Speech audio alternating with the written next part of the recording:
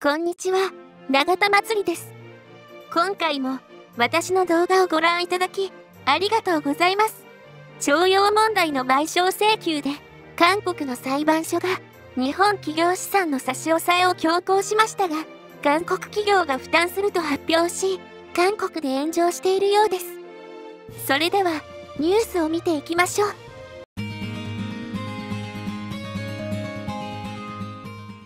それでは、ニュースの詳細です。ユン・ソギョル政府が日程独占期における強制動員被害者に対する賠償金を日本企業が抜けたまま、国内企業、韓国企業など民間の自発的な貢献で用意したお金で支給する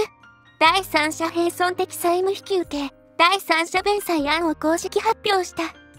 政府は強制動員の大法院判決に関する解決策を準備する必要性として挙げたのは、未来志向的な韓日関係、厳しい韓半島及び地域、国際情勢の中での韓日協力、被害者の高齢化などだった。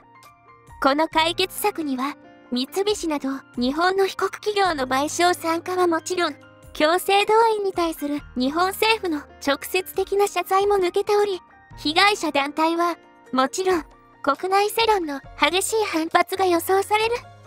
パクチン外交部長官は、強制動員逮捕員判決に対する政府の立場発表文を通じて、政府は、強制動員被害者側の意見を尊重しながら、韓日両国の共同利益に合致する合理的な解決案を用意するために努力してきたとし、第日高早期の強制動員被害に関する調査及び国外に強制動員された犠牲者などへの支援に関する特別法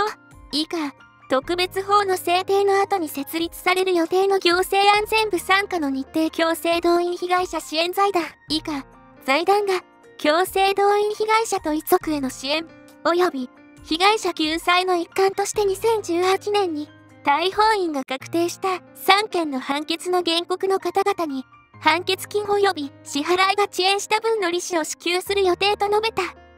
パク長官は、また、同財団は、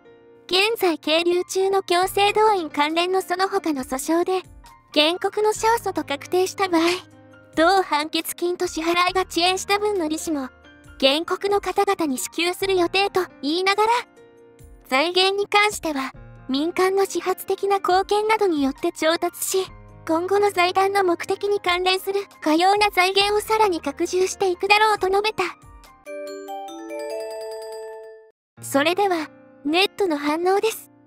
ユン災害政府が大法院の判決を覆し、国民の拒否を投げ捨て、売国的な事故を犯した。寄付金を出す企業も売国企業だ。国民は、もう災いを終わらせなければならない。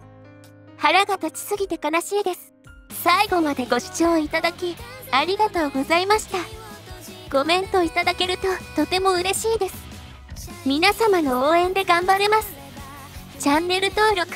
高評価お願いいたします。また、次回の動画も見てくださいね。